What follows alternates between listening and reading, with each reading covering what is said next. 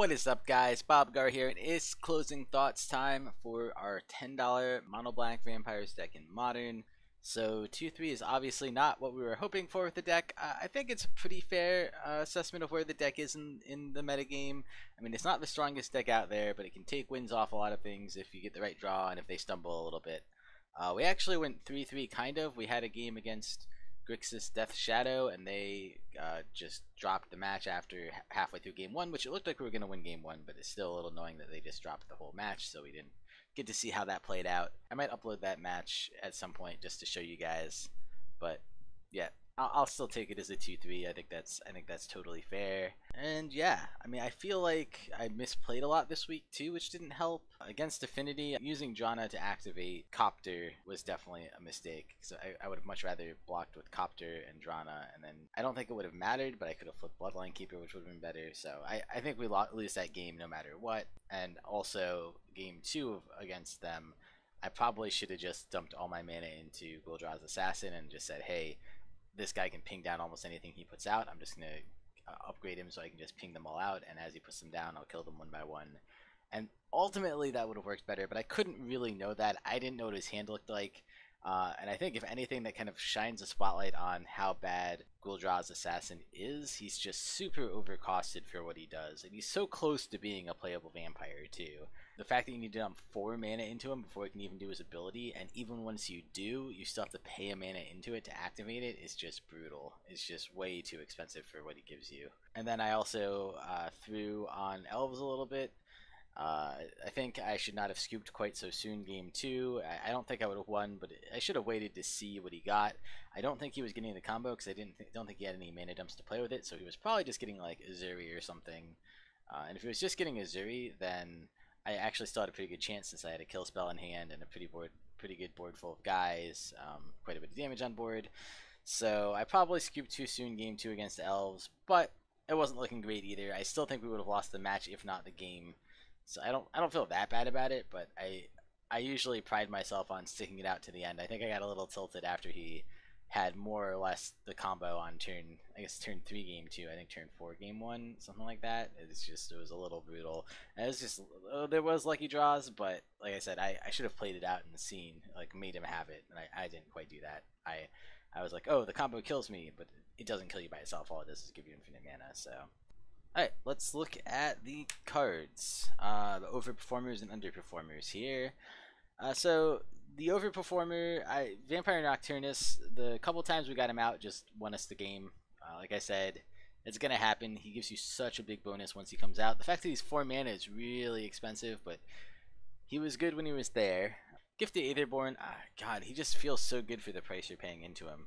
He just he trades with anything. He has lifelink to keep you in against aggro he just does everything you want him to do. You know, uh, it's it is it does suck that he doesn't have flying like uh, Vampire Nighthawk, but at the same time, it's just that one mana reduction just makes him so much better. So I really I, I really thought Gifted Aetherborn was ridiculously good. Um, and then Smuggler's Copter, I had a, trouble figuring out what to put the last checkmark on. It's not super good in this deck in particular, but it's just such a good card that it still feels really broken in this deck. Helps you smooth your curves, gets you the mana when you need mana, gets you the good cards when you get good card when you need good cards. We played the Madness off Asylum Visitor off at once or twice, which was a nice bonus.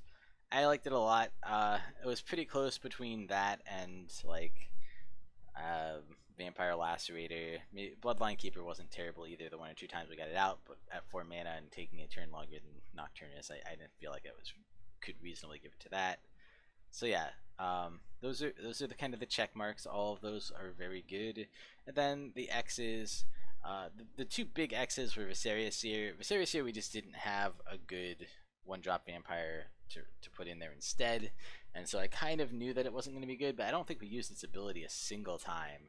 So it's just a 1 1 for 1 at that point, and that just feels really bad. I mean, it, it, seemed like, and maybe if I played it more, I'd find it was, but it seemed like it could be a good combo with Vampire Nocturnus, forcing it so that you had a black card on top of your library, even if it cost you a vampire to do so.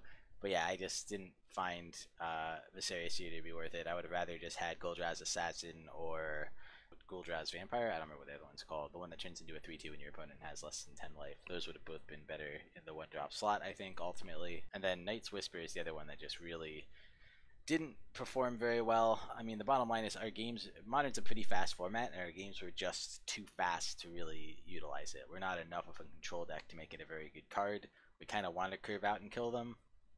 And so I cut it. I The reason I put an X by it is I just felt like I cut it a lot of times because I was just like, I don't have the time to play Night's Whisper.